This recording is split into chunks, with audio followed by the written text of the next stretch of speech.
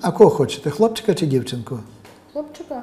Хлопчика. Оксана розповідає, її чоловік захищає Україну на сході від початку повномасштабного російського вторгнення. Подружжя родом з Херсонщини. Разом чотири роки, але дітей не мають. З чоловіком ми давно мріяли про дітей. Природнім шляхом не вдалося нам завагітніти. Ну і вирішила звернутися до професора. Соціальну програму безкоштовного лікування безпліддя для сімей військовослужбовців ЗСУ розпочали майже два роки тому, розповідає керівник медзакладу Стефан Хміль.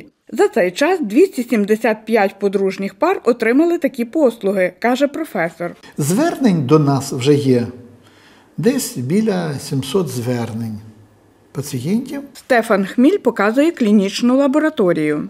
Ви бачите на моніторі яйцеклітина, вон красива. Вон там, бачите?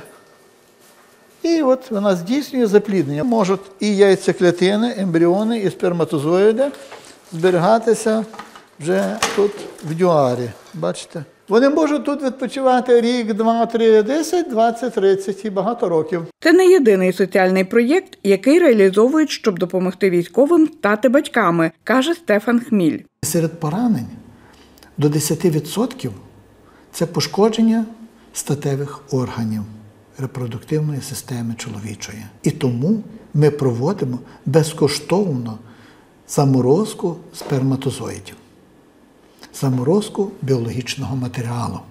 Тому що коли вони повернуться з фронту, вони можуть скористатися своїм біологічним матеріалом. Пацієнтами клініки є люди з різних куточків України, розповідає Стефан Хміль.